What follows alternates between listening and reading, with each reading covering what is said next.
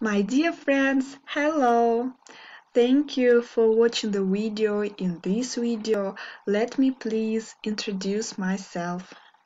My name is Irina. My surname is Tsvetkova. I'm 25 years old. I'm graduated from Moscow Pedagogical University in 2018. I have a master degree. Now I'm studying at Moscow State University. I have an experience in pedagogy about one year. I taught to children and junior school children. Kids and junior school children are very fond of singing songs. For example, it's time to say hello, my friends, say hello. Playing, drawing, and doing something together. They are all interested and uh, I love it. I like to bring joy to children. I taught at the support center of family and uh, childhood. I love kids because they they are kind, they are funny, they are bright. I have my own course of spoken English for kids and uh, junior school children. English through communication. I use the communicative method total physical response, audiovisual and audiolingual methods. The value of this course is uh, to discover the best qualities through communication. I use on my lessons with kids this toy. His name is Dex. Hello! And also I use this book. Why? Because just look, just look, very interesting, beautiful pictures. A lot of songs, stories. Also, on my lessons, we have active games when we have a break or when we repeat words. Children love to play, sing the songs, move, dance.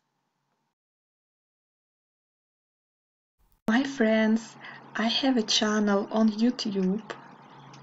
There are videos on my channel that help you understand your potential. These are breathing exercises, meditations, where the mind becomes beautiful.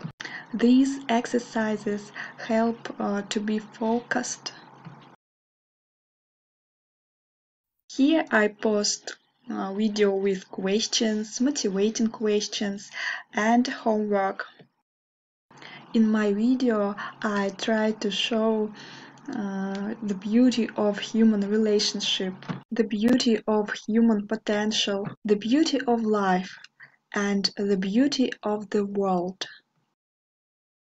The key points on my lessons exercises for calm and clarity uh, of mind.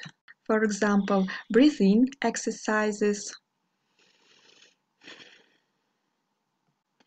games, fun, understanding and helping each other, discovery and uh, realization of potential for the best qualities of children uh, through communication. It is important for me to help my students in it. I watched the film School of Life. Mr. D is my hero.